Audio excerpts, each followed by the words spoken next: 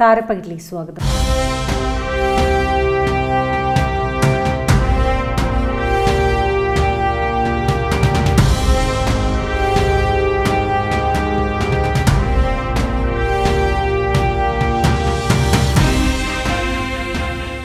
സംവിധായകൻ ഷാഫിയാണ് ഇന്ന് നമ്മളോടൊപ്പം വിശേഷങ്ങൾ പങ്കിടുന്നത്. തന്റെ ഏറ്റവും പുതിയ ചിത്രമായ ചിൽഡ്രൻസ് പാർക്കിനെ കുറിച്ച് വെൽക്കം ടു ദ ഷോ.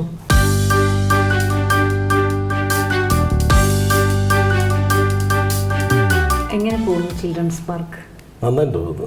സാധാരണ എന്താ പറയുക ഈ കോമഡി പടം അതായത് അറിയാലോ കോമഡി പടം ആകുമ്പോൾ ഫാമിലിയും കുട്ടികളുമാണ് കൂടുതൽ വരുന്നത്. എപ്പോഴും ഷാഫി എന്ന് പറയുമ്പോഴേ നമുക്ക് ഓരോരുത്തരുടെയും പേരിലൊരു പ്രസക്തി ഒരുപാടുണ്ട് സംവിധായകരുടെ. പേരെന്ന് വെച്ചാൽ സിനിമ. സിനിമ തന്നെ പറയും കഥ. കുടുംബ കുടുംബചിത്രം എന്ന് പെട്ടെന്ന് പറയുമ്പോൾ okay സത്യനന്ദിക്കാടും Shafi full and full out and out comedy ഒരു ഫുൾ എന്റർടൈനർ അത്തരത്തിൽ എങ്ങനെയാണ് പ്രേക്ഷകർ പ്രതീക്ഷിക്കേണ്ടത്? പ്രേക്ഷകർ ഇപ്പോൾ എന്റെ ഒരു സിനിമ എന്ന് പറയുമ്പോൾ തന്നെ ഇപ്പോൾ അത് ഹ്യൂമർ ആയിരിക്കും എന്നുള്ള ഒരു ധാരണ പ്രേക്ഷകർക്ക് ഓൾറെഡി ഉണ്ടാവും. പിന്നെ നമ്മൾ ഇതിനകത്ത് കാസ്റ്റ് ചെയ്തിരിക്കുന്ന ആർട്ടിസ്റ്റുകൾ ഇപ്പോൾ വിഷ്ണു ഷറഫ് ധ്രുവൻ എന്നൊക്കെ പറയും ധ്രുവൻ കോമഡി പടങ്ങളെല്ലാം ആ പക്ഷെ സിനിമയാണ് ബാക്കി രണ്ടുപേരും കോമഡി പടങ്ങളിലെ ആളുകളാണ് പിന്നെ റാഫിക്ക കൂടെ വരുന്നു. അപ്പൊ അറിയാമല്ലോ ഇതിനകത്ത് ഹ്യൂമർ ആയിരിക്കും എന്നുള്ളത്. ഇത് പിന്നെ ഒരു എന്താ പറയാ നമ്മളെ ടു കൺട്രീസ് ഒക്കെ പോലെ ഒരു അങ്ങനെ ഒരു ഔട്ട് ആൻഡ് ഔട്ട് കോമഡീനേക്കാൾ ഉപരിയായിട്ട് അതിന്റെ വിശേഷം ഒരു എവിടെയോ കഥയിലും ഒരു ചെറിയ ഒരു ഒരു അത്തരത്തിലൊരു ഇതിനകത്തൊരു ഇത് സീരിയസ് കഥയാണ്. പക്ഷെ നമ്മളൊരു ട്രീറ്റ്മെന്റിന്റെ ട്രീറ്റ്മെന്റ് ഒരു കോമഡിയിലൂടെ പറഞ്ഞു പോകുന്ന രീതിയിലാണ്. അപ്പോൾ അതുകൊണ്ടിട്ട് ആളുകൾക്ക് രസിക്കാവുന്ന രീതിയിൽ ഒരു തമാശ പടമായിട്ട് തന്നെ ഈ സിനിമയിലെ ആളുകൾ കാണുന്നു കാണുന്നുള്ളൂ. ഇപ്പോൾ പടം ഇറങ്ങി ഇത്രയും ദിവസമായല്ലോ. അപ്പോൾ ആളുകളിൽ നിന്ന് നമുക്ക് കിട്ടുന്ന ഫീഡ്ബാക്ക് എന്ന് വെച്ച് കഴിഞ്ഞാൽ എല്ലാവരും ഒരേ സ്വരത്തിൽ പറയുന്ന ഒരു കാര്യം എന്ന് വെച്ച് കഴിഞ്ഞാൽ ഒത്തിരി ചിരിക്കാനുണ്ട് എന്നാണ് പറയുന്നത്. പറയുന്നു അപ്പോൾ ഒത്തിരി ചിരിക്കാനുണ്ടെന്ന് പറഞ്ഞാൽ തന്നെ നമുക്കറിയാം. അപ്പോൾ പടം ഓക്കെ റാഫി മെക്കാട്ടിൻ എന്ന് പറയുമ്പോൾ പെട്ടെന്ന് ആ മലയാളികൾ ചിന്തിക്കും. ഷാഫിയുടെ ബ്രദർ എന്നുള്ളതിനൊക്കെ അപ്പുറം റാഫി മെക്കാട്ടിൻ എന്ന് പറഞ്ഞാൽ സച്ചിൻ ടെണ്ടുൽക്കറിനെ പോലെ ഇപ്പോഴും ജനങ്ങളിൽ എവിടെയോ അതൊരു വ്യക്തിയാണെന്നുള്ള ഒരു വിശ്വാസം ഒരുപാട് സിനിമകളിലൂടെ റാഫി മെക്കാട്ടിനും കൂടെയുള്ള ആ കൂട്ടുകെട്ട് നൽകിയിട്ടുണ്ട്. അതിൽ നിന്നും ആദ്യമായാണ് ടു കൺട്രീസിൽ രണ്ടുപേരും കൂടി ഒരുമിച്ചത്. ആ കൂട്ടുകെട്ടും വൻ വിജയവുമായി. അതേപോലെ ഇതിലെ എന്തുകൊണ്ടാണ് ആ വിജയമാണോ ഈ ഒരു കൂട്ടുകെട്ടിലേക്ക് എത്തിച്ചത്? അങ്ങനെയല്ല. റാഫി എന്ന് പറയുന്നത് ചേട്ടനാണല്ലോ. അതാ ഞാൻ പറഞ്ഞു. പക്ഷേ ജനങ്ങളോട് ഇപ്പം നമുക്ക് കാട്ടാക്കടയിലുള്ള ഒരു ഗോപാലകൃഷ്ണൻ ചേട്ടനോട് ചോദിച്ചാൽ പിന്നെ റാഫി മേക്കാട്ടിന് അറിഞ്ഞൂടാത്ത ക്രിക്കറ്റിൽ സച്ചിൻ സിനിമയിൽ റാഫി മേക്കാട്ട് ഒരു വ്യക്തിയാക്കി മലയാളിയുടെ മനസ്സിൽ പതിഞ്ഞു കഴിഞ്ഞു. സിനിമ നിരീക്ഷിക്കുന്നവർക്കറിയാം. അല്ലാത്തവരുടെ കാര്യം ഞാൻ പറഞ്ഞു. ഒത്തിരി ആളുകൾ അത് ഒരാളാന്ന് അതാണ്. ചിലരും ഇങ്ങനെ റാഫി മെക്കാർട്ടിന്റെ എന്താണ് അനിയനാണ് എന്ന് പറയാറുണ്ട്. അത് കുഴപ്പമില്ല. ചിലര് ഈ റാഫി മെക്കാട്ടിന്റെ ഭാര്യയാണെന്നൊക്കെ പറഞ്ഞിട്ട് പരിചയപ്പെടുത്തുമ്പോഴാണ്. പക്ഷെ അവരിപ്പോ തനിച്ച് പടം ചെയ്യാൻ തുടങ്ങിയിട്ട് നാലഞ്ച് വർഷമായി അതെ അതെ. അപ്പൊ റാഫിക്ക തനിച്ച് എന്താണ് ചെയ്തതാണ് റിംഗ്. മാസ്റ്റർ അത് കഴിഞ്ഞിട്ട് ഇപ്പൊ എനിക്ക് വേണ്ടി ടൂ കൺട്രീസ് ചെയ്തു. അപ്പോൾ റാഫിക്കാണ് ഒരു സ്ക്രിപ്റ്റ് കിട്ടുക എന്ന് പറഞ്ഞു കഴിഞ്ഞാൽ ഞാൻ എപ്പോഴും വെയിറ്റിംഗ് ആണ്. അപ്പൊ ഇപ്പോൾ ഒരു പടം കൂടി കമ്മിറ്റ് ചെയ്തിട്ടുണ്ട്. അപ്പോൾ വിളി ചെയ്തു തരാമെന്ന് പറഞ്ഞിട്ടുണ്ട്. എന്റെ ആദ്യത്തെ പടം വൺ മാൻ ഷോ കഴിഞ്ഞിട്ട് ഏഴ് വർഷം കഴിഞ്ഞിട്ടാണ് ഞാൻ പിന്നെ ഒരു സ്ക്രിപ്റ്റ് ചോദിക്കുന്നത്. അത് എന്തുകൊണ്ടാന്ന് വെച്ച് കഴിഞ്ഞാൽ ഇപ്പൊ റാഫി മെക്കാറിന്റെ സ്ക്രിപ്റ്റ് വെച്ച് വെച്ചാണ് ഞാൻ സിനിമാ സംവിധായകനായത്. അവർ സ്ക്രിപ്റ്റ് വന്നപ്പോൾ ഓട്ടോമാറ്റിക്കലായിട്ട് അതിന് ആർട്ടിസ്റ്റിന്റെ ഡേറ്റ് വന്നു പ്രൊഡ്യൂസർ വന്നു എല്ലാം വന്നു. അപ്പോൾ ആ സിനിമ സക്സസ് ആയിട്ട് വീണ്ടും ഞാൻ അവരുടെ അടുത്തേക്ക് അറ- ഇക്ക തന്നെ പറഞ്ഞിട്ടാണ് പുള്ളി തന്നെ പറഞ്ഞത് കാരണം വെച്ചാൽ ഇതിപ്പോൾ ഒരു പടം ചെയ്തു. അങ്ങനെ എല്ലാ പടവും നമുക്ക് ചെയ്യാം കാരണം വെച്ചാൽ സിനിമയിൽ നമുക്ക് ഒരാളെ സപ്പോർട്ട് ചെയ്ത് കൊണ്ടുവരാൻ ഒന്ന് കയറ്റി വിടാനേ പറ്റുള്ളൂ. പിന്നെ സപ്പോർട്ട് ചെയ്യണത് അവനവൻ സ്വന്തം കാലിൽ തന്നെ നിൽക്കണം. അപ്പോൾ അപ്പൊ അത് കഴിഞ്ഞിട്ട് ഞാൻ വൺ മാൻ ഷോ കഴിഞ്ഞിട്ട് ശരിക്കും പറഞ്ഞാൽ ആറ് ഏഴ് കൊല്ലം കഴിഞ്ഞിട്ടാണ് പിന്നീട് ഒരു സ്ക്രിപ്റ്റ് ചോദിക്കുന്നത്. അതാണ് മായാവി. മായാവി കഴിഞ്ഞിട്ട് എട്ട് വർഷം കഴിഞ്ഞിട്ടാണ് ടു കൺട്രീസ്. ചോദിക്കുന്നത്. നാല് വർഷമായില്ലോ മൂന്ന് മൂന്നര വർഷമായി. അപ്പൊ ഒരു സിനിമ കൂടി ഞങ്ങൾ തമ്മിൽ പ്ലാൻ ചെയ്യുന്നുണ്ട്. അവരെത്ര എത്ര നാൾ സ്ക്രിപ്റ്റ് തരും അത്ര നാളും ഞാൻ മേടിച്ചോണ്ടിരിക്കും. ഈ ഇന്റർവ്യൂ കണ്ടുകൊണ്ടിരിക്കുന്ന ഒരു പ്രേക്ഷകൻ വിചാരിക്കുകയാണ് എന്തുകൊണ്ട് ഞാൻ ചിൽഡ്രൻസ് പാർക്ക് കാണണം എന്ന് ചോദിക്കുകയാണെങ്കിൽ മനസ്സിൽ കരുതുകയാണെങ്കിൽ അതിനുള്ള ഒരു ഒറ്റ വാക്കിലൊരു ഉത്തരം എന്തായിരിക്കും? ഇത്രയേ ഉള്ളൂ. ഇപ്പം നമ്മൾ മനുഷ്യർക്ക് എല്ലാവർക്കും അവർ അവരവരുടേതായിട്ടുള്ള ടെൻഷനും ഒക്കെ ഉണ്ടാവുമല്ലോ തീർച്ചയായിട്ടും. എത്ര ഭയങ്കര ഹാപ്പി ആയിട്ട് നടക്കുന്ന ടെൻഷനും കാര്യങ്ങളൊക്കെ ഉണ്ടാവും എല്ലാവർക്കും. അപ്പം ഞാൻ ചിൽഡ്രൻസ്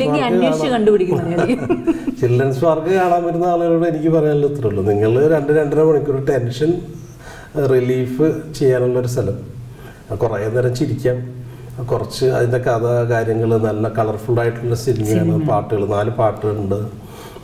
കുട്ടികൾക്കൊക്കെ വളരെ എന്റർടൈൻ ചെയ്യാൻ പറ്റുന്ന സിനിമ കുട്ടികളും സ്ത്രീകളും ആണ് ഇതിന്റെ മെയിൻ ഓഡിയൻസ് ശരിക്കും പറഞ്ഞത് അപ്പോൾ ഫാമിലി ഓഡിയൻസിന് അപ്പോൾ കുടുംബമായിട്ട് കാണാവുന്ന ശരിക്കും ഇതൊരു വെക്കേഷന് വേണ്ടിയിട്ട് നമ്മൾ പ്ലാൻ ചെയ്ത സിനിമയാണത് വെക്കേഷന് പെരുന്നാളായതുകൊണ്ടാണോ മാറിപ്പോയത്?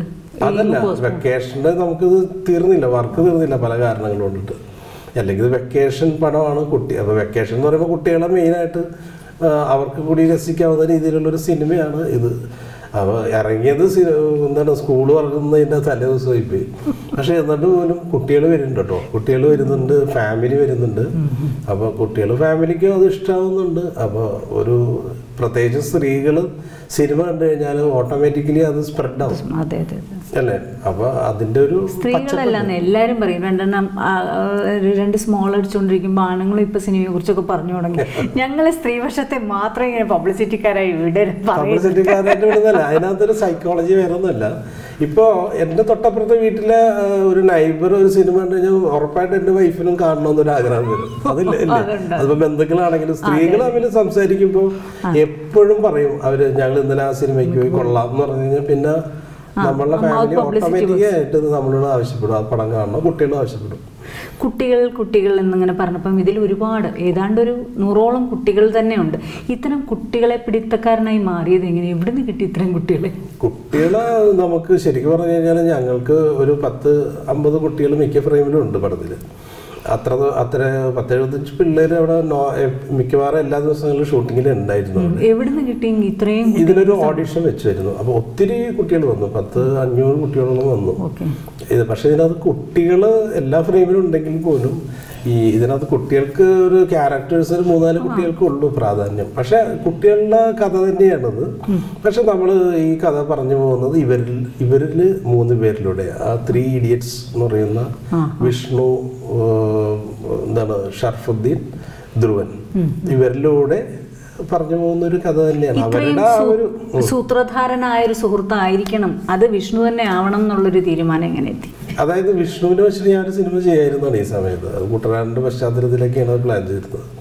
അപ്പോൾ ഈ പ്രളയമൊക്കെ വന്ന് അവിടെ ആകെ താറുമാറായപ്പോൾ പിന്നെ ഒന്നും ചെയ്യാൻ പറ്റില്ല. അങ്ങനെ പെട്ടെന്ന് പ്ലാൻ ചെയ്ത് പടമുണ്ടത് അപ്പോൾ ഈ കഥയിൽ രണ്ട് ഹീറോസും കൂടി ആവശ്യമായിരുന്നു. അതുകൊണ്ടാണ് വിഷ്ണുവിന്റെ കൂടെ ഇവർ രണ്ടുപേരും കൂടി വന്നത്. ഇത്രത്തോളം ഈ ഒരു അച്ഛൻ മകൻ അല്ലെങ്കിൽ ഒരു സ്വത്ത് എന്നാൽ മകനെ ചലഞ്ച് ചെയ്യുന്ന ഒരവസ്ഥ ഇതിലൊക്കെ എത്തണം. ഇങ്ങനെയൊക്കെ ഒരു കഥയിലൂടെ പോകുമ്പോൾ അല്ലാത്തൊരു നിരീക്ഷണവും സംവിധായകൻ എന്നുള്ള രീതിയിൽ വരുള്ളൂ. അങ്ങനെ ഒരു മലയാളിയുടെ ഒരു മക്കത്തായോ മരുമക്കത്തായോ അല്ലെങ്കിൽ ഈ സ്വത്ത് വീതിക്കലും അല്ലെങ്കിൽ അത് അടുത്ത അവകാശിക്ക് കൊടുക്കുകയും ഇതൊക്കെ എത്രത്തോളം നിരീക്ഷിച്ചു? നിരീക്ഷിക്കാനൊന്നുമില്ല. നമ്മൾ ചുറ്റും നടക്കുന്ന കാര്യങ്ങൾ തന്നെയല്ലേ നമ്മൾ പറയുന്നത്. ഇതിനകത്ത് വെച്ച് കഴിഞ്ഞാൽ ഇപ്പോൾ ഞങ്ങൾ മെയിനായിട്ട് നോക്കുന്നത് വെച്ച് കഴിഞ്ഞാൽ ഒരു കഥ പറയുമ്പോൾ കഥയ്ക്ക് എന്തെങ്കിലും പുതുമയോ അല്ലെങ്കിൽ പശ്ചാത്തലത്തിലോ ക്യാരക്ടേഴ്സിലോ എന്തെങ്കിലും പുതുമയുണ്ടെന്നോ. അപ്പോൾ ഈ സിനിമയിൽ എന്താ വെച്ച് കഴിഞ്ഞാൽ ഈ സ്വത്തിന് വേണ്ടിയിട്ട് ഇറങ്ങിത്തിരിക്കുന്ന ഒരു മകന്റെ കഥയാണത്. അവന്റെ കൂട്ടുകാരും കൂടി അതിനുവേണ്ടി ശ്രമിച്ചിട്ടുണ്ടാവുന്ന അവർ ചെന്ന് വിടുന്ന പൊല്ലാപ്പുകൾ രസകരമായിട്ട് നമ്മൾ അവതരിപ്പിക്കുന്നു. അപ്പോൾ അത് അങ്ങനെ അത്ര ഭയങ്കര പുതുമയുള്ളൊരു വിഷയമൊന്നുമില്ല. അതുകൊണ്ടാണ് ആ കുട്ടികളെ കൊണ്ടുവന്ന് ഇത്തരത്തിലുള്ളൊരു പശ്ചാത്തലം ചിൽഡ്രൻസ് പാർക്ക് എന്ന് പറയുന്ന ഒരു ഓർഫനേജ് അവിടേക്ക് ഇവർ എത്തിപ്പെടുന്നു. അതിനു വേണ്ടിയിട്ട് നമ്മൾ നല്ല വളരെ മനോഹരമായിട്ടുള്ളൊരു ലൊക്കേഷൻ തന്നെ കണ്ടുപിടിച്ചു മറ്റേ മൂന്നാറിൽ അപ്പോൾ അങ്ങനെ ടോട്ടലി അങ്ങനെ വരും. പക്ഷേ ഇതിനകത്ത് പറഞ്ഞു പോകുന്ന കഥ എന്ന് വെച്ച് കഴിഞ്ഞാൽ ഈ മാതാപിതാക്കളെ അനുസരിക്കാത്ത മക്കളുടെ കഥ തന്നെയാണ് അങ്ങനത്തെ കുട്ടികൾ മാതാപിതാക്കളെ അനുസരിക്കാത്ത ഒരു വിഭാഗമാണോ ഇന്ന് കൂടുതൽ? അങ്ങനെ ഞാൻ പറയുന്നില്ല. പക്ഷെ അതുണ്ടല്ലോ. അനുസരിക്കുന്നവരോടൊപ്പം തന്നെ അനുസരിക്കുന്ന അനുസരിക്കാത്തവരുണ്ടല്ലോ. അപ്പം നമ്മളൊരു കഥ തിരഞ്ഞെടുക്കുമ്പോൾ നമ്മൾ എന്താ പറയുക അങ്ങനത്തെ ആളുകളുണ്ടോന്ന് അത് നമുക്ക് എല്ലാവർക്കും അറിയാവുന്നതാണ്. തീർച്ചയായിട്ടും. അപ്പോൾ അപ്പൊ ഇവർ ആ വളരെ ലൈറ്റായിട്ടാണ് സിനിമയിൽ ആ വിഷയം പറഞ്ഞിട്ടുള്ളെങ്കിൽ പോലും ഈ സിനിമ തുടങ്ങുന്നതും വന്ന് അവസാനിക്കുന്നതും ആ വിഷയത്തിൽ തന്നെയാണ്. നമ്മൾ നേരത്തെ പറഞ്ഞു അങ്ങനെ ഞാൻ പറയില്ല. അമ്മ ഈ ഇന്നത്തെ ജനതയെ നമ്മൾ അടച്ചാക്ഷേപിക്കേണ്ട കാര്യമില്ല. പക്ഷേ ഒരു ബെസ്റ്റ് പാരന്റിങ് അറ്റ് ടീനേജ് അല്ലെങ്കിൽ ചൈൽഡ്ഹുഡ് എന്ന് പറയുകയാണെങ്കിൽ പേരൻസിന് കൊടുക്കാനുള്ള ഒരു ടിപ്പ് നോട്ട് ടിപ്പ് ഒരു ഫ്രണ്ട്ലി മെസ്സേജ് എന്താ? അങ്ങനെ പ്രത്യേകിച്ച് അങ്ങനെ എനിക്ക് പറയാറുള്ളത് ഞാനാണല്ല ഓരോരുത്തർക്കും ഓരോ രീതിയാണ്. അപ്പോൾ ഞാൻ എന്റെ ഒരു കാഴ്ചപ്പാട് എങ്ങനെയാണെന്ന് വെച്ച് കഴിഞ്ഞാൽ കുട്ടികളെ അവർ കുറേയൊക്കെ അവരുടെ ആഗ്രഹത്തിന് വിടുക എന്നുള്ളതാണ്. നമ്മളുടെ ആഗ്രഹങ്ങൾ അടിച്ചേൽപ്പിക്കാതെ അന്ന് അവർക്ക് അവരുടെ ആഗ്രഹങ്ങൾ കൃത്യമായിട്ട് മനസ്സിലാക്കി അവർ കുഴപ്പത്തിലേക്ക് പോവുകയാണെങ്കിൽ കർശനമല്ലാത്ത രീതിയിൽ അതിനെ അവരെ പറഞ്ഞ് മനസ്സിലാക്കി നമ്മളുടേതായ രീതിയിൽ കൊണ്ടുവന്നു കഴിഞ്ഞാൽ കുഴപ്പമില്ല. സ്വന്തം തീരുമാനങ്ങൾ അടിച്ചേൽപ്പിക്കാതെ എന്ന് പറയുമ്പോൾ ആദ്യമായി ഈ സിനിമ ലോകത്തേക്ക് എത്തുന്നത് തന്നെ വളരെ എന്താ പറയേണ്ടത് രണ്ടായിരത്തി ഒന്നിലാണ്. അപ്പോൾ സ്വന്തം വീട്ടിൽ അല്ലെങ്കിൽ വീട്ടിൽ നിന്നും ഇപ്പം കല- കലാരംഗത്തേക്ക് ഒക്കെ വരുമ്പോഴും എങ്ങനെ കൺവിൻസ് ചെയ്തു പേരൻസിനെ അല്ലെങ്കിൽ പേരൻസിനോട് എന്ത് പറഞ്ഞു? അതോ എന്റെ ഒരു സംഭവം എന്ന് വെച്ച് കഴിഞ്ഞാൽ ഞാൻ എട്ടാം ക്ലാസ് പഠിക്കുമ്പോൾ ഫാദറിന്റെ ജോലി പോയി. പത്താം ക്ലാസ്സിൽ വെച്ചിട്ട് ഞാൻ പഠിത്തം നിർത്തി ജോലിക്ക് പോയ ആളാണ് അപ്പം ഞാനും അത് കഴിഞ്ഞ കുറച്ച് കഴിഞ്ഞപ്പോൾ റാഫിക്ക് ഞങ്ങൾ രണ്ടുപേരും കൂടി ഒരു ഒരു ചെറിയൊരു ബാഗിന്റെ യൂണിറ്റ് ഞാൻ ഒത്തിരി ഇന്റർവ്യൂസിലൊക്കെ പറഞ്ഞിട്ടുള്ളതാണ്. എന്നാലും സാന്ദർഭികമായിട്ട് പറയണം. അപ്പോൾ ഞങ്ങളാണ് കുടുംബം നടത്തിക്കൊണ്ടിരുന്നത് ഞങ്ങൾ രണ്ടുപേരും കൂടി അപ്പോൾ ചേട്ടൻ സിനിമയിലേക്ക് പോയപ്പോൾ ഞാനായി. പിന്നെ കമ്പനിയുടെ മേൽനോട്ടവും കാര്യങ്ങളും വീട്ടിലെ കാര്യങ്ങളൊക്കെ അങ്ങനെ നടന്നു പോകുമായിരുന്നു അങ്ങനെ എന്റെ മനസ്സിൽ സിനിമ കുറേ കാലമായിട്ട് ഇങ്ങനെ നമ്മൾ ആഗ്രഹം കൊണ്ട് നടക്കാം അപ്പോൾ ഒരു ഞാനും കൂടി സിനിമയിലേക്ക് പോയി വീട്ടിന്റെ വീട്ടിലെ കാര്യങ്ങൾ നടക്കില്ല. അപ്പോൾ എന്താ പറയുക റാഫിക്കാരുടെ ഒരു പടം ഹിറ്റാകാൻ വേണ്ടി വെയിറ്റ് ചെയ്തു. തൊണ്ണൂറ്റഞ്ചിനാണ് അനിയമ്പാവ ചേട്ടമ്പാവ റാഫിക്ക് എഴുതിയ പടം. സേന സാറാണ് ഡയറക്റ്റ് ചെയ്തത്. ആ പടം ഇറങ്ങി ഹിറ്റായി. ആ ആ തന്നെ ഞാൻ കമ്പനി കൂട്ടി അതൊരു പത്താം തീയതിയാണ് ഇറങ്ങുന്നത്. ഇരുപത്തഞ്ചാം തീയതി കമ്പനി കമ്പനി പൂട്ടിയപ്പോൾ ടെൻഷൻ ഉണ്ടായിരുന്നു? ഒരു ടെൻഷൻ ഉണ്ടായില്ല. കാരണം ഞാൻ എന്റെ ഒരു ആഗ്രഹം അതായത് നമ്മളൊരു ആറേഴ് വർഷം കൊണ്ട് ഞാനത് ഒറ്റയ്ക്ക് തുടങ്ങിയ ഒരു യൂണിറ്റാണ് അത് സ്റ്റോപ്പ് ചെയ്യുമ്പോൾ പതിനാല് സ്റ്റാഫ് ഉണ്ടായിരുന്നു. ആ സമയത്ത് എനിക്ക് അത്യാവശ്യം ജീവിക്കാനുള്ള വരുമാനവും കാര്യങ്ങളൊക്കെ ഉണ്ടായിരുന്നു. ഒരാൾക്ക് എനിക്ക് അത്രയും പ്രായം ഉണ്ടായിരുന്നുള്ളൂ. അവിടെ വളരെ അപ്പോൾ ഈ കമ്പനി നടത്തിക്കൊണ്ടിരുന്ന സമയത്താണ് വിദ്യാഭ്യാസമൊക്കെ തുടർന്നതും ഒക്കെ അപ്പോൾ അത് നിർത്തുന്ന സമയത്ത് സാമ്പത്തികമായിട്ട് രണ്ടു മൂന്ന് വർഷം നല്ല ബുദ്ധിമുട്ടായിരുന്നു. പക്ഷെ സിനിമ എന്ന് പറയുന്നത് സ്വപ്നത്തിന്റെ മുമ്പിൽ ആ ടൈറ്റൊന്നും ഒന്നുമില്ലായിരുന്നു ആ രണ്ട് മൂന്ന് വർഷക്കാലത്ത് നമുക്ക് നമ്മളൊക്കെ മനുഷ്യരാണ്. End of the day tension fluctuation ഒരു ദിവസം വളരെ ലോ ആയി പോകും നമ്മൾ ഇനി നാളെ എന്ത് ചെയ്യുമെന്നുള്ളൊരു ചിന്ത വരും. എല്ലാവർക്കും സംഭവിക്കാവുന്ന വീണ്ടും നമ്മൾ സടകുടഞ്ഞെണീക്കും പ്രകൃതി ഒഴുക്കിനെതിരെ നീന്തും എത്തിപ്പിടിക്കാൻ ശ്രമിക്കും. ചിലപ്പോൾ ആദ്യം നീ ഒരു വലിയ കനത്ത പരാജയമായിരിക്കും. ഇത്തരം അവസ്ഥകളിലൂടെ പോയതെന്ന് ഓർക്കുവാണെങ്കിൽ ഇതെല്ലാവർക്കും സംഭവിക്കാവുന്നതാണ്. സംവിധായകൻ ഷാഫിയും ഇതുപോലെ അനുഭവിച്ചു അനുഭവിച്ചു. അനുഭവിച്ചു എന്ന് വെച്ചാൽ ഞാൻ ആ ഒരു ഡാർക്ക്നെസ് അല്ല കാണിക്കുന്നത്. പക്ഷേ അതൊരു ആൾക്ക് കൊടുക്കാവുന്ന ഒരു കോൺഫിഡൻസ് ഇസ് വളരെ വളരെ വലുതാണ്. അത്തരത്തിൽ ആ മൂന്ന് വർഷത്തെ ഒന്ന് നോക്കുകയാണെങ്കിൽ മൂന്നല്ല അഞ്ച് വർഷം. ശരിക്കും പറഞ്ഞു. ഞാൻ ഡയറക്ടറാണ് പക്ഷേ എനിക്ക് കിട്ടിയൊരു ഭാഗ്യം എന്ന് വെച്ച് കഴിഞ്ഞാൽ റാഫിക്ക് തന്നെ എഴുതിയ സ്ക്രിപ്റ്റാണ് ആയിത്തക്കൻ മണി. അതിനകത്ത് അസിസ്റ്റന്റ് ഡയറക്ടറായിട്ട് ജോയിൻ ചെയ്തു. അത് കഴിഞ്ഞ് റാഫിക്ക് ഡയറക്ടറായപ്പോൾ അവരുടെ കൂടെ അസിസ്റ്റന്റ് ഡയറക്ടറായിട്ട് പോകാൻ തുടങ്ങി പിന്നെ സിദ്ദിഖ് ലാൽ അവരുടെ കൂടെ. അപ്പോൾ എനിക്ക് കണ്ടിന്യൂസ് വർക്ക് ഉണ്ടായിരുന്നു.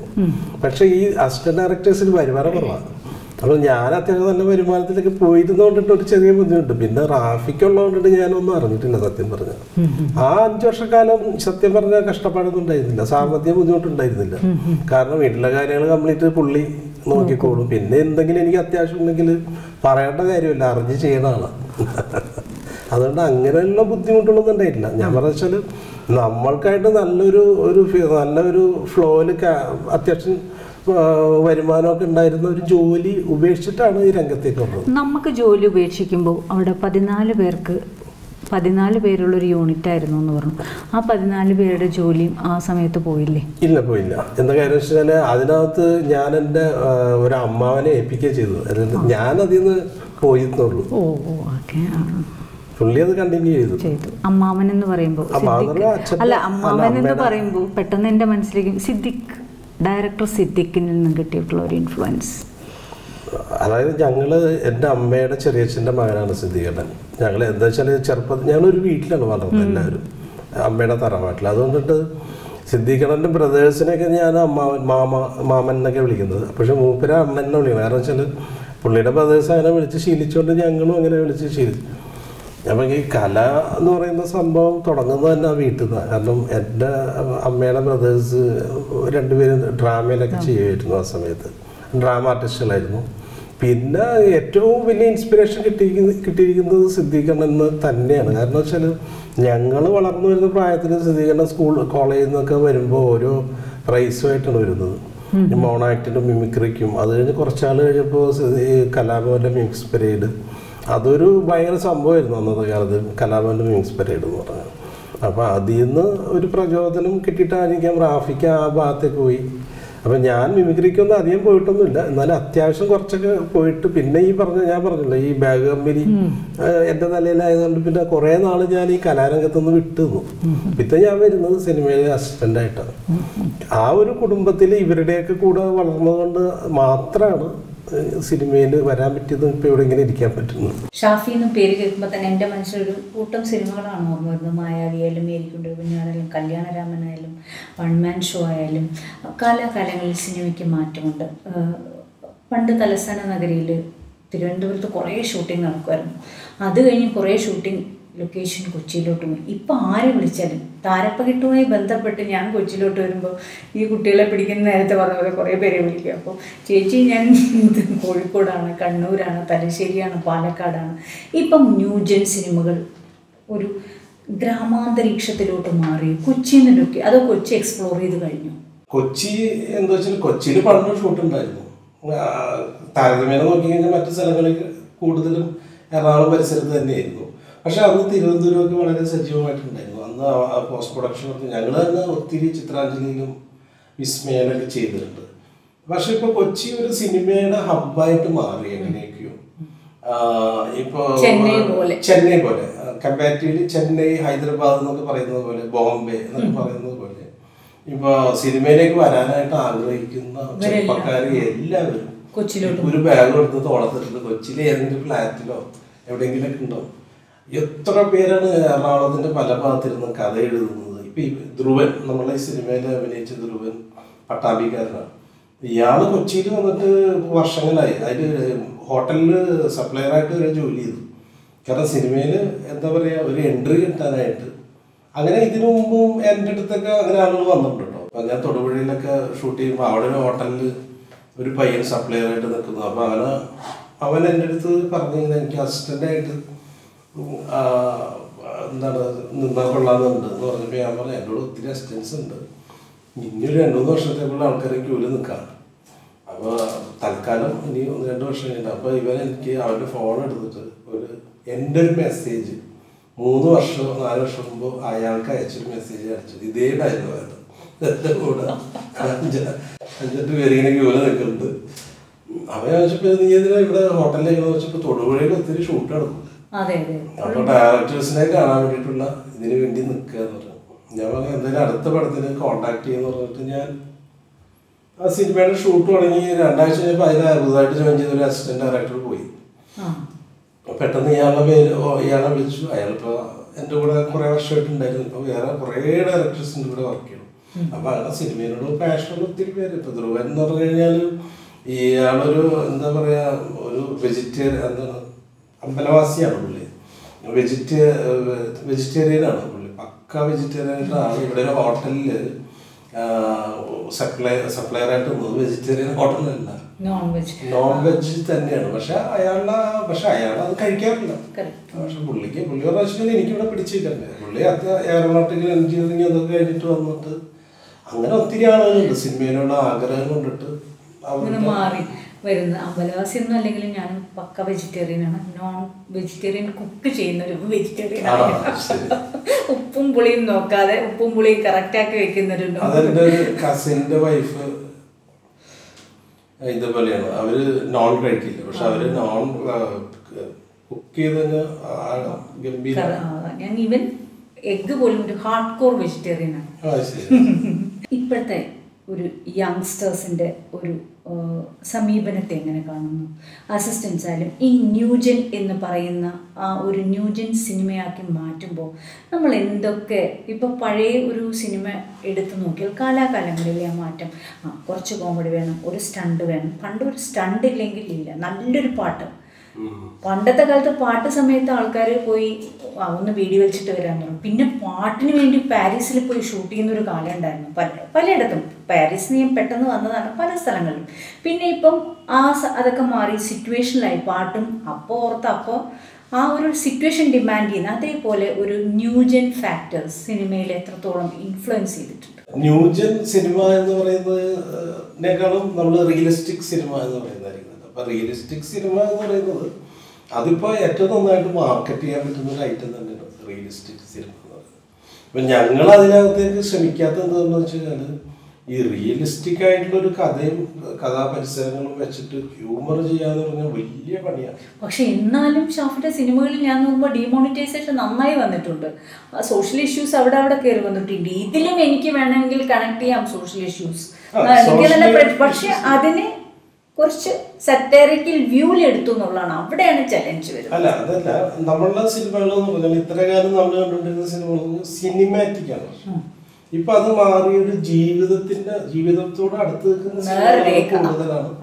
അതുകൊണ്ട് ഇപ്പൊ മലയാള സിനിമ മറ്റു ഭാഷ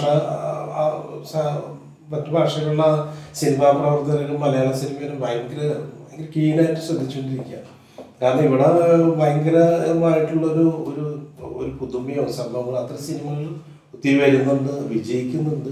ഈ ന്യൂജൻ സിനിമകൾ മുമ്പ് ഉണ്ടായിട്ടുണ്ട്. അപ്പൊ തകരയും മറ്റേ എന്താണ് അതുപോലെ പത്മരാജ സാറിന്റെ മരൻ സാറിന്റെ 70s L K G Jose സാറിന്റെ സിനിമകൾ എന്ന് പറഞ്ഞാൽ അവനെയൊക്കെ ഇപ്പോഴും കണ്ടു കഴിഞ്ഞാൽ റിയലിസ്റ്റിക് ആയിട്ടുള്ള സിനിമകളല്ലേ പക്ഷെ അന്നത്തെ കാലത്ത് പിന്നീട് ഒരു പ്രവണത വന്നു സിനിമയിൽ. എന്താ വെച്ച് കഴിഞ്ഞാൽ ഒരു സിനിമ പണ്ടൊക്കെ ക്ലാസ് എന്ന് പറഞ്ഞ് ഓടുമായിരുന്നു. പിന്നെ ഇടയ്ക്ക് വെച്ചിട്ട് ആളുകൾ ഒരു പടം എങ്ങനെയാണെന്ന് വെച്ചാൽ പറഞ്ഞാൽ ആരും പോകാത്ത അവസ്ഥയായി. പക്ഷെ ഇന്നിപ്പോ ഇത് രണ്ടും കൂടി സമന്വയിപ്പിച്ചുകൊണ്ടാണ് ചെയ്യേണ്ടത് കാരണം വെച്ചാൽ ഏത് സിനിമ ആയിക്കോട്ടെ എത്ര റിയലിസ്റ്റിക് ആയിക്കോട്ടെ എന്ത് എന്ത് കഥയായിക്കോട്ടെ പറഞ്ഞിരിക്കുന്നത്. പക്ഷെ അത് പ്രേക്ഷകനെ എന്തെങ്കിലും രീതിയിൽ രസിപ്പിക്കുന്നുണ്ടോ എന്നുള്ളതാണ് ഇതിന്റെ മുഖ്യ ഘടകം. കാരണം ഇപ്പൊ ന്യൂജൻ സിനിമകൾ ഇപ്പോൾ വന്നു കിടന്ന് വിജയിച്ചിരിക്കുന്ന ഏത് സിനിമ എടുത്ത് നമ്മൾ നോക്കിയാലും മുഷിപ്പിക്കുന്ന ഒന്നുമില്ല. ഇൻട്രസ്റ്റിംഗ് ആണ്. വളരെ ഇൻട്രസ്റ്റിംഗ് ആയിട്ട് നമുക്ക് കണ്ടിരിക്കാവുന്ന അന്ന് അത് വളരെ എന്താ പറയുക ജെന്യുവിൻ ആയിട്ട് വളരെ റിയലിസ്റ്റിക് ആയിട്ട് കാണുമ്പോൾ അതിനൊരു പടത്തിന് വിജയം മാത്രമല്ല അതിനൊരു മെറിറ്റും കിട്ടും. ഞങ്ങൾ എന്താ ചെയ്യണമെന്ന് വെച്ച് കഴിഞ്ഞാൽ പ്രേക്ഷകരെ രസിപ്പിക്കുക പ്രൊഡ്യൂസറിന്റെ പെട്ടിയിലെ കാശ് വീഴുക അതാണ് നമ്മളുടെ പടങ്ങൾ. അല്ല അതാണ് ശരിക്കും ഒരു സംവിധായകൻ ചിന്തിക്കേണ്ട ഒരു കാര്യമാണത്. പ്രൊഡ്യൂസറെ പ്രൊഡ്യൂസറുടെ നിലനിൽപ്പാണ് സിനിമയുടെ ഒരു വിജയം എന്ന് പറയുന്നത്.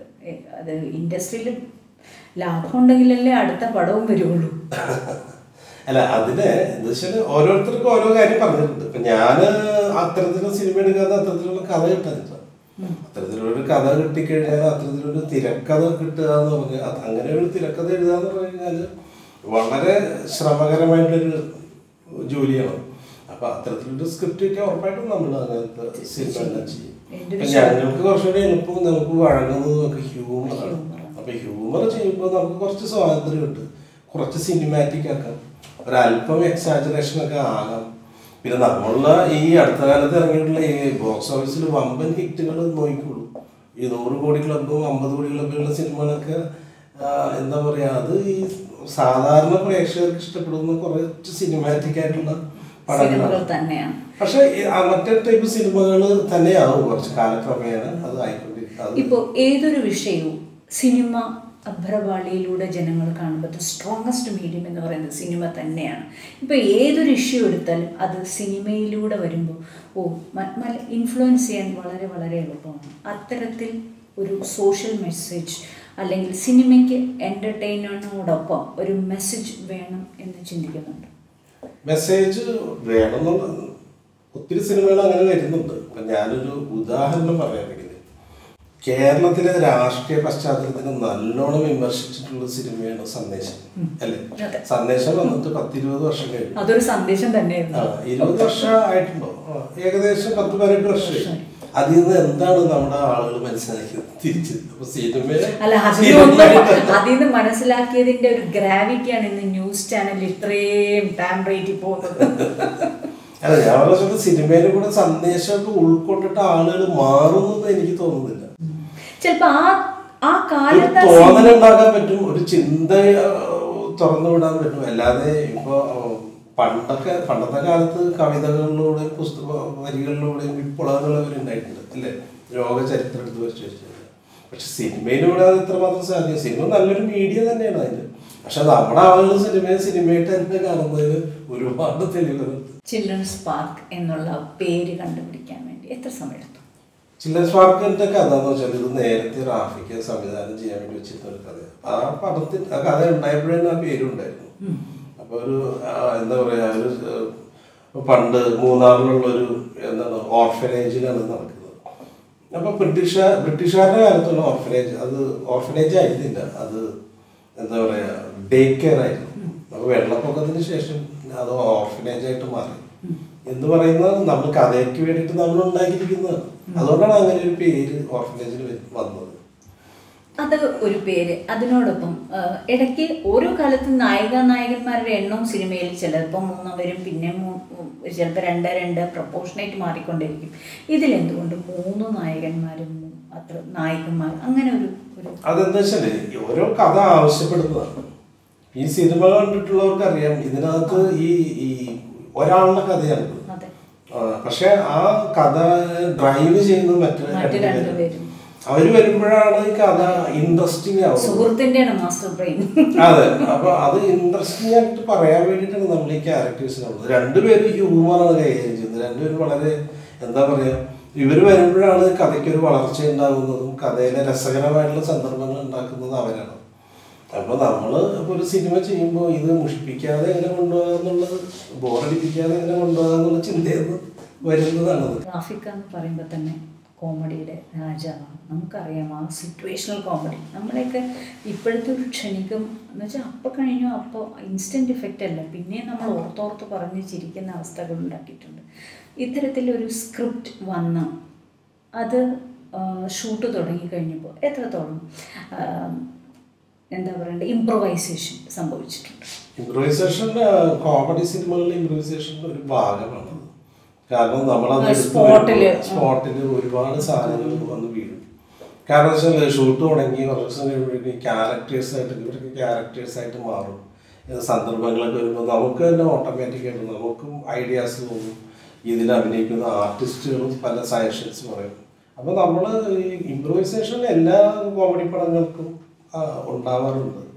അത് ഒരു സംവിധായകനെ സംബന്ധിച്ചിടത്തോളം വളരെ ആക്സെപ്റ്റബിൾ ആണ്. കാര്യം ഇപ്പോൾ പെട്ടെന്ന് ഇംപ്രവൈസേഷൻ എന്ന് പറയുന്ന സെഷൻ ഏത് രംഗം ഉദ്ദേശിച്ചാലും എനിക്ക് പെട്ടെന്ന് മ്യൂസിക്കാണ് കാര്യം ആ, പ്രതിഭാസം എന്ന് പറയുന്ന എ ആർ റഹ്മാൻ സിംഗേഴ്സിന് വിട്ടുകൊടുത്താണ് സ്വാതന്ത്ര്യം കൊടുക്കുന്നത്. സംവിധായകൻ അത്രത്തിൽ ഓക്കെ എന്റെ സീൻ അവിടെ ഇംപ്രവൈസ് ചെയ്യുന്നു കുറച്ചുകൂടെ റിച്ച് ആവുന്നു എന്ന തലത്തിൽ ഒരു സമാധാനവും സന്തോഷമൊക്കെ കിട്ടും. പക്ഷെ ഒരു സ്ക്രിപ്റ്റ് റൈറ്ററെ സംബന്ധിച്ചിടത്തോളം അദ്ദേഹത്തിന്റെ ബേബിയാണ് സ്ക്രിപ്റ്റ് എന്ന് പറയുന്നത്. അതിലെ ഇംപ്രവൈസേഷൻ സെഷൻ ഒരു സ്ക്രിപ്റ്റ് റൈറ്റർക്ക് ഒരു ഈഗോ ഉണ്ടാക്കും അല്ലെങ്കിൽ ഒരു വിഷമം ഉണ്ടാക്കും. എന്റെ ഞാനിപ്പോൾ ചെയ്തിട്ടുള്ള എത്രയോ സ്ക്രിപ്റ്റ് റൈറ്റേഴ്സിന്റെ കൂടെ ഞാൻ വർക്ക് ചെയ്തിട്ടുണ്ട്. ഇവരെല്ലാവരും ബേസിക്കലി നല്ല ഹ്യൂമർ സെൻസ് ഉള്ള ആളുകളാണ്. അപ്പോൾ ഒരു നല്ല ഹ്യൂമർ വന്നു കഴിഞ്ഞാൽ അത് ഒരാൾ സജസ്റ്റ് ചെയ്ത് കഴിഞ്ഞാൽ അവർക്കും അത് ഉൾക്കൊള്ളാൻ പറ്റിയിട്ടുണ്ട്. ഇന്ന് വരെ ആരും ഓപ്പോസ് ചെയ്തിട്ടില്ല ഞാൻ ചെയ്യുന്ന ഒരു പരിപാടി എന്ന് വെച്ച് കഴിഞ്ഞാൽ ഇപ്പൊ ആരെങ്കിലും ഇപ്പോൾ നമ്മളുടെ പടത്തിലെ സലീം കുമാറോ അല്ലെങ്കിൽ സുരാജോ ഹരീഷോ വിഷ്ണു ആരും ആയിക്കോട്ടെ ഇവർ ഒരു സായിഷ പറഞ്ഞു കഴിഞ്ഞാൽ കൊള്ളാന്ന് തോന്നി കഴിഞ്ഞാൽ ഞാനത് ഷൂട്ട് ചെയ്യാം ഷൂട്ട് ചെയ്തിട്ട് എന്താ പറയാ അവസാനം എഡിറ്റിംഗ് ടൈമിലാണ് ഇത് വേണോ വേണ്ടേ തീരുമാനം തീരുമാനം. അപ്പൊ ഷൂട്ടിങ്ങിന് ഒരു ഇത്തിരി ഇത് വരും. പക്ഷെ അപ്പൊ അതെന്ന് വെച്ചാൽ നമുക്ക് അങ്ങനെ കിട്ടുമ്പോൾ നമുക്കൊരു കാച്ചി കുറിക്കിയ പോലത്തെ ഒരു സിനിമ ഉണ്ടാവും. ചില സമയത്ത് അത് പാളിപ്പോകാറുണ്ട്. പക്ഷെ അത് കൂടുതലും അതുകൊണ്ടിട്ട് ഗുണമേ ഉണ്ടായിട്ടുള്ളൂ ഞാൻ കണ്ടെടുത്തോളാം. എന്റെ ഒരു അനുഭവം വെച്ചിട്ട്. കഴിഞ്ഞ ആഴ്ച ഞാൻ ഇന്റർവ്യൂവിന് വേണ്ടി ഷാഫിയുടെ ഇന്റർവ്യൂവിനനുസരിച്ചാണ് ഞാൻ ഈ ട്രാവൽ പ്ലാൻ ചെയ്തത്. അപ്പോൾ എന്നോട് പറഞ്ഞു റിലീസ് ഡേ വേണ്ട ജയന്തി? റിലീസ് ഡേ എനിക്ക് ഒരു ചെറിയ ടെൻഷനാണ് വേണ്ട വേണ്ട എത്രത്തോളം ടെൻഷൻ ഉണ്ട് റിലീസ് ഡേ റിലീസ് ഡേ എന്ന് പറഞ്ഞാൽ അതൊരു ടെൻഷൻ തന്നെയാണ്. കാരണം എത്രയൊക്കെ ഇപ്പൊ ടൂ കൺട്രീസ് ഇറങ്ങുന്ന ഷൂട്ടിങ്ങിന്റെ സമയത്ത് തന്നെ ഞാൻ അതിന്റെ പ്രൊഡ്യൂസറോട് പറഞ്ഞത്. ഈ പടം ഹൺഡ്രഡ് ഡേയ്സ് എന്ന് പറഞ്ഞാലും നമുക്ക് റിലീസിന്റെ എന്ന് പറഞ്ഞാൽ ഭയങ്കര ടെൻഷനാണ് കാരണം ഈ സിനിമ വിജയിപ്പിക്കാനുള്ള ഫോർമുലയൊന്നും ആർക്കറിയില്ല. അതെ. അപ്പൊ ഇത് നമ്മൾ എന്തൊക്കെ ചെയ്തു വെച്ചാലും എത്ര വലിയ സിനിമയുടെ രാജാക്കന്മാരാണെങ്കിലും ശരി. ടിക്കറ്റ് എടുത്ത് പടം കാണുന്ന ആദ്യം നിമിഷം കണ്ടെന്ന് ഇറങ്ങുന്ന ആൾ പറയുന്ന അഭിപ്രായം അനുസരിച്ചിരിക്കും ആ പടത്തിന്റെ വീതി അപ്പൊ അത് വരുന്നത് വരെ ഭയങ്കര ടെൻഷൻ തന്നെയാണ്. അപ്പൊ അതുണ്ടാവും. അത് എത്ര സിനിമ ചെയ്യുന്നു? എത്ര കാലം സിനിമ ചെയ്യുന്നു? അത്രയും കാലം ഉണ്ടാവും. ഈ ചിൽഡ്രൻസ് പാർക്ക് റാഫി ചെയ്യാൻ വെച്ചിരുന്ന റാഫിക്ക് ചെയ്യാൻ വെച്ചിരുന്ന ഒരു കഥയാണ് ഒരു സിനിമയാണെന്ന് പറഞ്ഞു. എന്നാണ് അത് ഞാൻ ഡയറക്റ്റ് ചെയ്യാം എന്ന തീരുമാനം ഉൾക്കൊണ്ടത്? ഞാൻ പറഞ്ഞില്ല ഞാൻ വിഷ്ണുവിൽ വെച്ചിട്ട് ഒരു പ്രോജക്റ്റ് പ്ലാൻ ചെയ്തു. അപ്പൊ അവിടെ വെള്ളപ്പൊക്കമൊക്കെ വന്നിട്ട് അവിടെ ആകെ ബാക്ക്ഗ്രൗണ്ട് ഒക്കെ ആകെ പോയി മൊത്തം ഇവിടെ കുട്ടനാട്ടിൽ അപ്പോ പെട്ടെന്ന് ഇനി എന്ത് ചെയ്യാന്ന് പറഞ്ഞപ്പോ ഞാൻ ഒരു ചോദിച്ചു അടുത്ത് ചോദിച്ചാ ഇങ്ങനെ എന്തെങ്കിലും ഒരു സാധനം പെട്ടെന്ന് ചെയ്യാൻ പറ്റുമെങ്കിൽ പുള്ളിയായിട്ട് പറഞ്ഞു. ഇങ്ങനെ ഒരു സബ്ജക്റ്റ് ഉണ്ട് വേണമെങ്കിൽ നീ അത് ചെയ്തു എന്ന് പറഞ്ഞു. അങ്ങനെയാണ് ഈ പ്രോജക്റ്റ് ഒരു പടം ചെയ്യുമ്പോൾ അടുത്ത പടത്തിൽ ഇന്ന ഇന്ന ആൾക്കാർ വേണം. ഇപ്പോൾ ഒരു പഴയ ബോംബ് കഥ ചെയ്തപ്പോൾ അടുത്ത എന്റെ സിനിമയിൽ ഇന്ന ഇന്ന ആൾക്കാർ വേണം എന്ന് അല്ലെങ്കിൽ ആ സിനിമയിലെ പെർഫോമൻസ് വെച്ച് അവിടുത്തെ ആൾക്കാരെ ആ ഇവരെ അടുത്ത സിനിമയിൽ ചിലപ്പോൾ അത് അവരെ നമ്മുടെ സിനിമയിൽ അഭിനയിക്കാത്തവരായിരിക്കാം. അവരെ വേണം അടുത്ത സിനിമയിൽ വിളിക്കണമെന്ന് ചിന്തിക്കും.